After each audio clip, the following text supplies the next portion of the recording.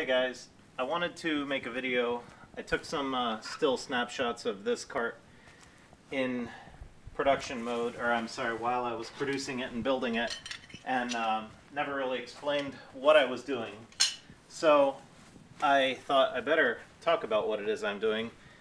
I do foundry work out here. You can show over there and stuff. And it's, you know, I've got to run cords, I've got to get fuel, I've got to put the fuel up in the air, I've got to get the foundry level. I have to do all this stuff, bring the blower over, make sure the blower is working, get the blower attached, put the electric to the blower, you know, prime the fuel, get the starter. Then you have all this heavy, hot stuff, and no way to easily set it up, no way to easily tear it down. What happens if it starts to rain or if, you know, you have to go inside because there's an emergency in the house? Um, so I came up with a cart.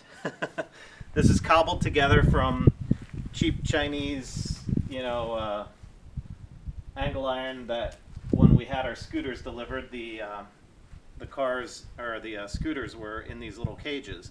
So I tore the cages apart and built this little cart. I don't even have the wheels put on properly yet, so the wheels keep falling off because I need to drill a little hole and uh, and then put a washer and like a pin through them so that the wheels don't spin off. So I have to be very careful moving it. Again, it was just a prototype, a proof of concept. The idea here is I can fire this thing up and I can fire it up in the foundry if I want to melt something in a crucible, or I can take this and aim it out the side. I actually have it lit right now. If I had gloves on, I could aim it out the side and do what um, the uh, oil burner does on his videos, and he'll blast things into a 55 gallon drum or whatever to melt a piston or a car engine or something large that you can't fit into the crucible. So the idea here is, if you get a shot down here, hun, I have little rails inside that this circular item will spin on. I can aim the blower out or I can aim it into the foundry. It doesn't care which way it's aiming, but the beauty of it is the cart lets me move it around wherever I want and actually you know, do one or the other. Now obviously if I had it hot right now it would require a little bit more care. And it's a prototype, it's a work in progress. So I invite people to actually come up with their own modifications. This cart definitely needs to be more sturdy. this cheap Chinese uh, stuff that I'm using here is rather flimsy. You know, I'm the first to say it's rather flimsy.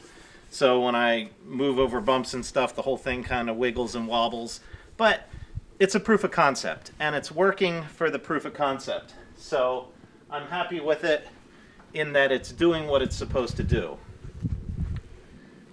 I've got my manifold mounted here, but I think in the real version, once it's all going, I want to put it back here.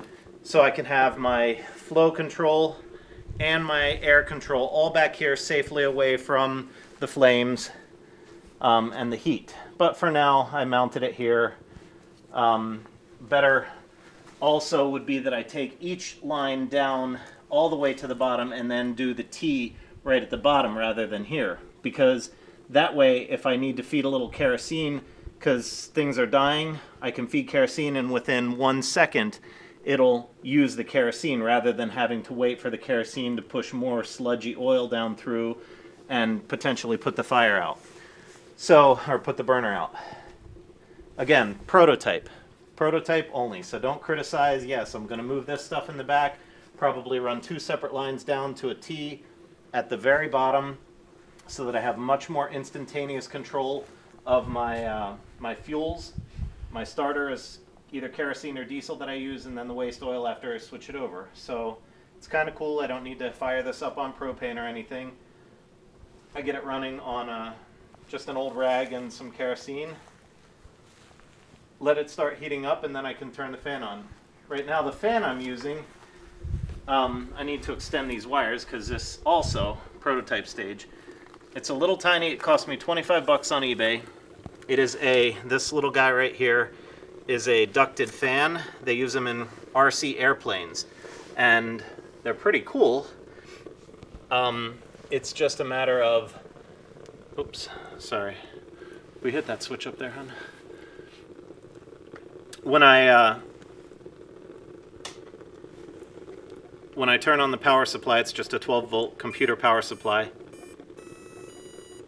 This is a little servo test unit that came, you know, for $2, shipping included, from eBay. You can keep it on manual mode, neutral, or auto. Manual mode's the best because then I can control the speed of the servo, or I'm sorry, the, the fan. No, um, just show the fire. I'm gonna just back up a little bit because it's gonna. so when I turn this on, there we go.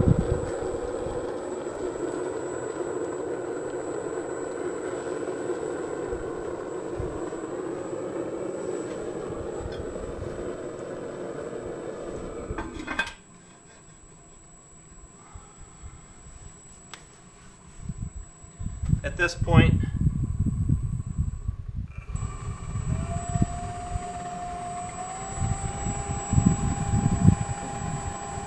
guess it will help if the fire can breathe. You know, at this point, I have a foundry that I can move anywhere, take anywhere. Once I attach the wheels on it properly, obviously, that'll help. And uh, I need to shore this thing up, so I need a lot more cross bracing and things like that, but I don't want to go too crazy with cross bracing because then I defeat the purpose of being able to maneuver the two main items, which are the burner and then the foundry, in here if I need to. Um, I left more room in here because I'm actually planning on building a larger, better foundry than this. This thing's really old and it's going to be um, replaced very soon. So, at this point, you know, I can turn on my starter, which is kerosene.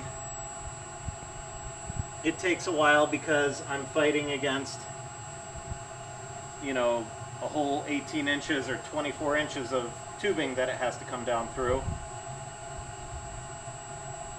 But that's fine. You know, it's a prototype. So what's the bucket at the top? This is the uh, waste veg oil. Oh, and that's another thing. I didn't show what I did in there, but I have a simple bulkhead joint. It's got a half inch thread on the inside and outside. You come through the bulkhead, in this case a five gallon bucket, with a uh, hole saw. Then on the inside, I've got a half inch threaded adapter. So I thread the half inch adapter into the bulkhead union, and then I go to a simple half inch piece of PVC. Um, we drilled a whole bunch of 1 8 holes in the thing, like all over the place. It's probably got, I don't know, 75 holes in it.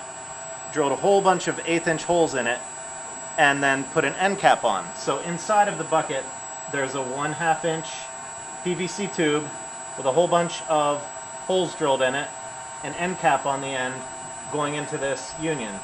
So the only way oil can get into this is it has to fit through one of those 1 8 inch holes. I've basically created a filter right inside the bucket. I could dump french fry chunks, whatever, into there. It doesn't matter. They won't get sucked in.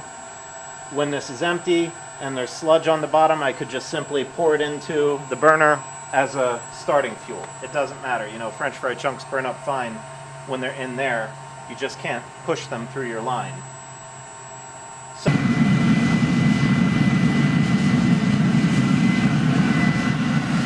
See the flame coming out the top?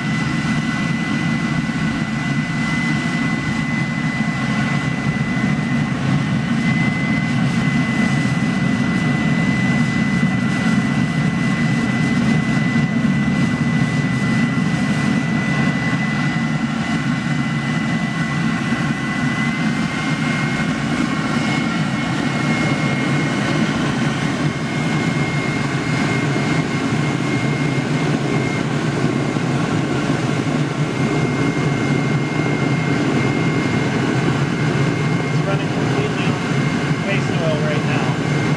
I just have to play with the settings and move that key down lower. It'll make startup a lot easier.